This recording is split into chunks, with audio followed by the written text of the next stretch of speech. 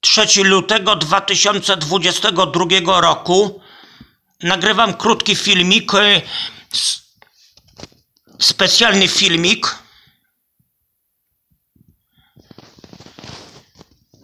Dziś z gminy Tłuszcz od pani dostałem y, telefon, żeby przyjść po upominek em, od burmistrza e, gminy mojej kochanej i kochanego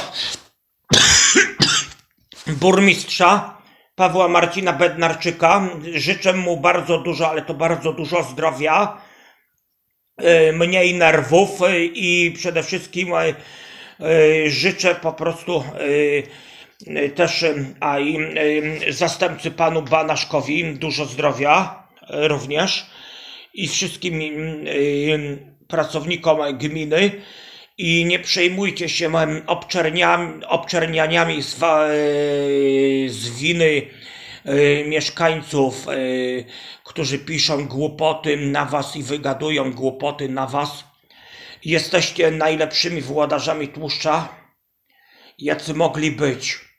Więc życzę wam dużo zdrowia i dziękuję za ten bardzo wspaniały upominek w postaci kalendarza i parasolki.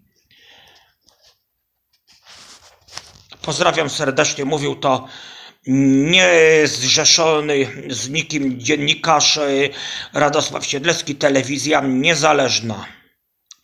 Pozdrawiam serdecznie.